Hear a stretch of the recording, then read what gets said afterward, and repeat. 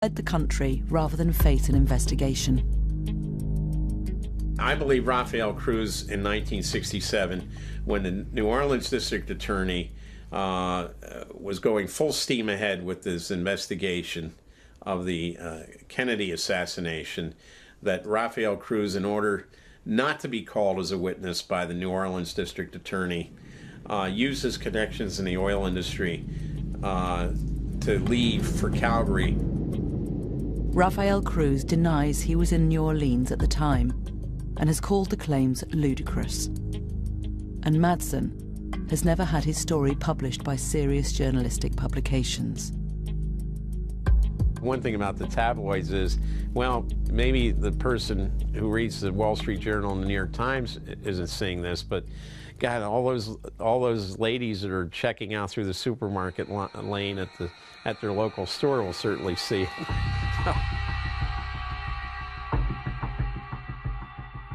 but is the evidence that Rafael Cruz was with JFK's killer credible? Garbage. Garbage. You know, I think that's that's the problem. Uh, it's it's easy to throw garbage into the middle of uh, our national political uh, conversation now in a way that it never was before. Even the National Enquirer couldn't be certain it was Rafael Cruz, despite their dramatic headline. In our article, we actually discounted the story to some extent. We said that there were some experts who said that they couldn't conclusively identify one way or the other if indeed the man in the photograph was Ted Cruz's father. 99% of their publication, it's all fabrication. I guess you could call it entertainment for the conspiracy minded. There's just no evidence that Rafael was anywhere near um, Lee Harvey Oswald, so no, it's just bogus. But the damage was done. I've said that I would continue on as long as there was a viable path to victory. Tonight, I'm sorry to say, it appears that path has been foreclosed. I humbly and gratefully accept your nomination for the presidency of the United States.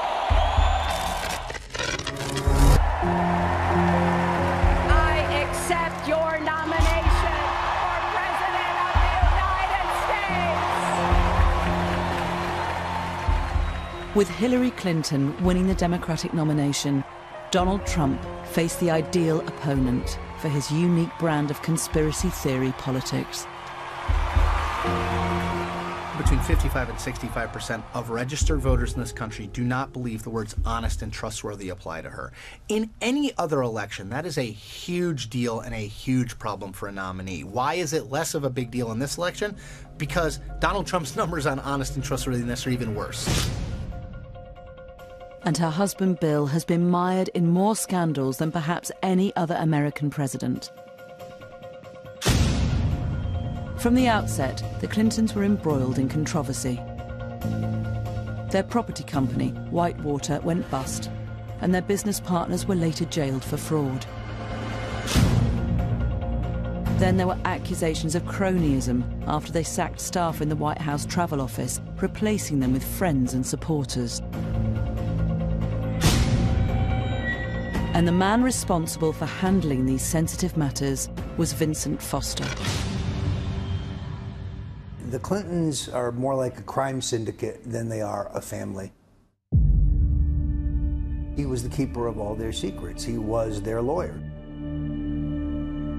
Six months into Bill Clinton's presidency, Foster was found dead with a gun in his hand. Here in Fort Marcy Park, just outside Washington it is very important that his life not be judged simply by how it ended, because Vince Foster was a wonderful man. Rumors spread about the man who may have known too much about Whitewater. and the Clintons' complex web of financial and real estate dealings. I believe he was murdered by persons unknown, for reasons unknown to me, uh, and a cover up ensued uh, that was at bottom politically driven. 23 years after Foster's death, Donald Trump reinvigorated the conspiracy. A lot of people are very skeptical as to what happened and how he died. I know nothing about it. But again, if you people reveal something to me, I'll answer it the, the appropriate way. Donald Trump, it seems to me, understands that the people who believed in those theories, the Clinton haters, if you will, exist and were ready to be reactivated uh, out there on the internet, and that by sending these signals to them, uh, he would he would have a certain constituency. He's he's rallied that constituency. Some of Trump's closest allies accuse Hillary Clinton of criminally covering up the circumstances of Foster's death. Research indicates that Hillary Clinton had two of her flunkies move the body to Fort Marcy Park so that Vince Foster's office would not become a crime scene. Why do I think his body's dumped? Well, they find his body 30 yards down a muddy trail, but there's no mud or dirt on his shoes, none whatsoever. There are carpet fibers all over his suit, however, that's because they rolled him in a carpet to get him out of there. Later, it is claimed secret papers were removed from Foster's White House office. Records pertaining to the nefarious activities of the Clintons. Who knows? It could have been anything. They have, you know, these people are a scandal a minute.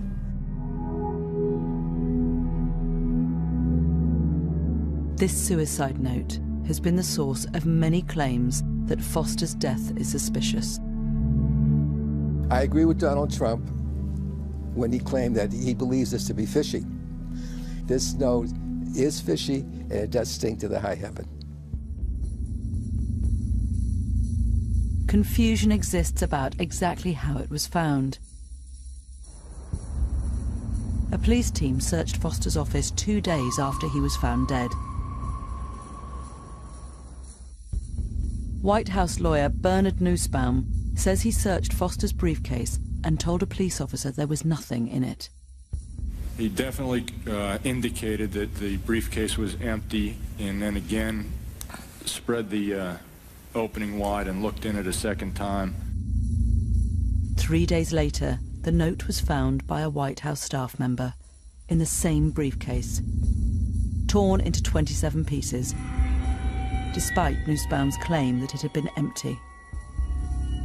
If the note had been in the bottom of that briefcase, he would have seen it.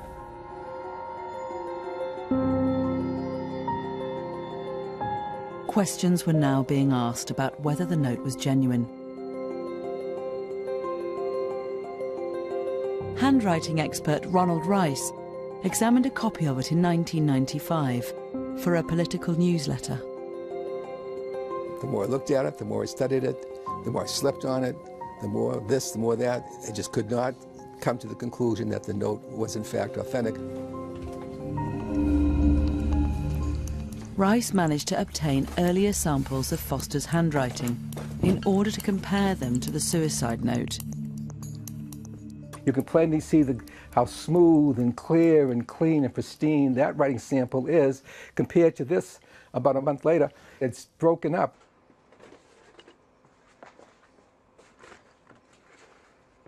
We have two words which read Clinton, Clintons, plural. You can plainly see on the known Vincent Foster, capital C is different from the question capital C. The, the I in the N, I in the N is quite different from the I in the N created in the question suicide note. The T is obvious. This is the known T. This is supposed to be the stem in the question document of Clinton. So we have in excess of 14 points of dissimilarity. Not similarity, dissimilarity. For Rice, this means only one thing forgery.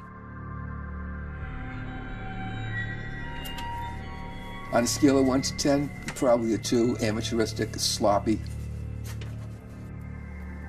I've seen better by kids. in this country do not believe the words honest and trustworthy apply to her. In any other election, that is a huge deal and a huge problem for a nominee. Why is it less of a big deal in this election? Because Donald Trump's numbers on honest and trustworthiness are even worse. And her husband Bill has been mired in more scandals than perhaps any other American president. From the outset, the Clintons were embroiled in controversy. Their property company, Whitewater, went bust, and their business partners were later jailed for fraud. Then there were accusations of cronyism after they sacked staff in the White House travel office, replacing them with friends and supporters. And the man responsible for handling these sensitive matters was Vincent Foster. The Clintons are more like a crime syndicate than they are a family. He was the keeper of all their secrets. He was their lawyer. Six months into Bill Clinton's presidency, Foster was found dead with a gun in his hand. Here in Fort Marcy Park, just outside Washington. And it is very important that his life not be judged simply by how it ended, because Vince Foster was a wonderful man. Rumours spread about the man who may have known too much about Whitewater and the Clintons' complex web of financial and real estate dealings. I believe he was murdered by persons unknown for reasons unknown to me, uh, and a cover up ensued uh, that was at bottom politically driven. 23 years after Foster's death, Donald Trump reinvigorated the conspiracy. A lot of people are very skeptical as to what happened and how he died. I know nothing about it. But again, if you people reveal something to me, I'll answer it the, the appropriate way. Donald Trump, it seems to me, understands that the people who believed in those theories, the Clinton haters, if you will, exist and we're ready to be reactivated uh, out there on the internet, and that by sending these signals to them, uh, he would he would have a certain constituency. He's he's rallied that constituency. Some of Trump's closest allies accuse Hillary Clinton of criminally covering up the circumstances of Foster's death. Research indicates that Hillary Clinton had two of her flunkies move the body to Fort Marcy Park so that Vince Foster's office would not become a crime scene. Why do I think his body's dumped? Well, they find his body 30 yards down a muddy trail, but there's no mud or dirt on his shoes, none whatsoever. There are carpet fibers all over his suit, however, that's because they rolled him in a carpet to get him out of there. Later, it is their dramatic headline. In our article, we actually discounted the story to some extent. We said that there were some experts who said that they couldn't conclusively identify one way or the other if indeed the man in the photograph was Ted Cruz's father. 99% of their publication, it's all fabrication. I guess you could call it entertainment for the conspiracy minded.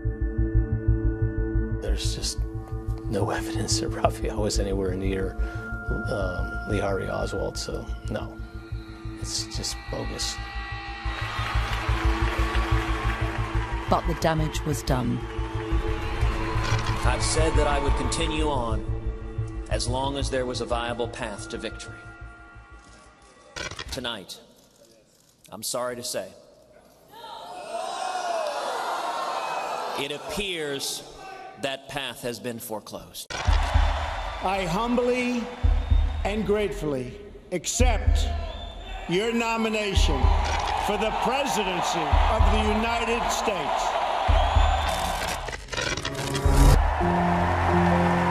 I accept your nomination for President of the United States. With Hillary Clinton winning the Democratic nomination, Donald Trump faced the ideal opponent for his unique brand of conspiracy theory politics. Between 55 and 65 percent of registered voters claimed secret papers were removed from Foster's White House office. Records pertaining to the nefarious activities of the Clintons. Who knows? It could have been anything. They have, you know, these people are a scandal a minute.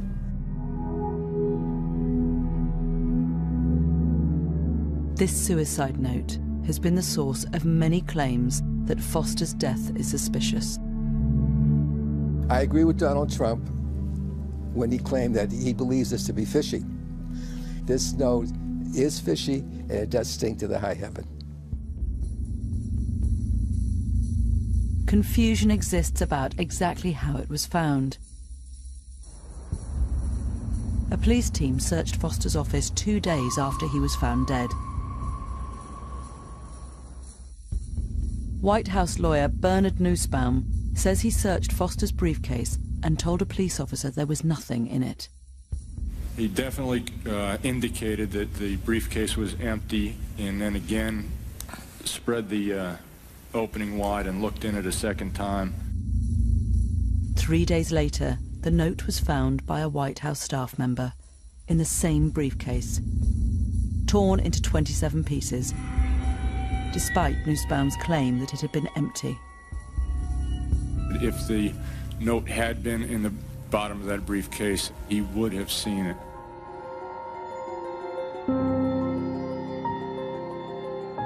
Questions were now being asked about whether the note was genuine. Led the country rather than face an investigation.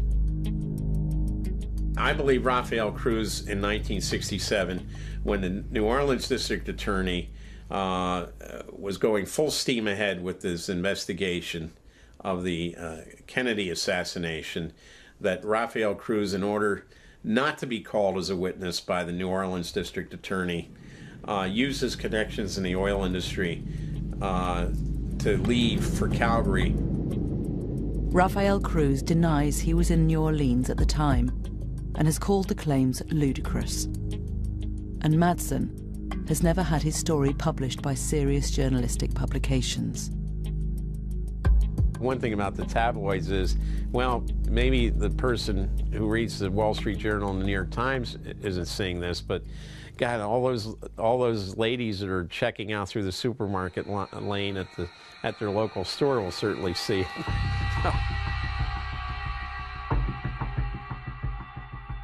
is the evidence that Rafael Cruz was with JFK's killer credible? Garbage. Garbage.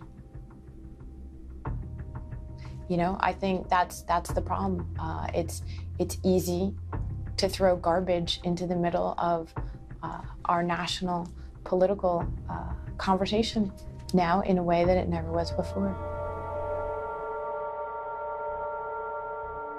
Even the National Enquirer couldn't be certain it was Rafael Cruz, despite led the country rather than face an investigation. I believe Rafael Cruz in 1967, when the New Orleans district attorney uh, was going full steam ahead with his investigation of the uh, Kennedy assassination, that Rafael Cruz, in order not to be called as a witness by the New Orleans district attorney, uh, used his connections in the oil industry uh, to leave for Calgary. Rafael Cruz denies he was in New Orleans at the time and has called the claims ludicrous. And Madsen, has never had his story published by serious journalistic publications. One thing about the tabloids is, well, maybe the person who reads the Wall Street Journal and the New York Times isn't seeing this, but God, all those all those ladies that are checking out through the supermarket lane at the at their local store will certainly see it.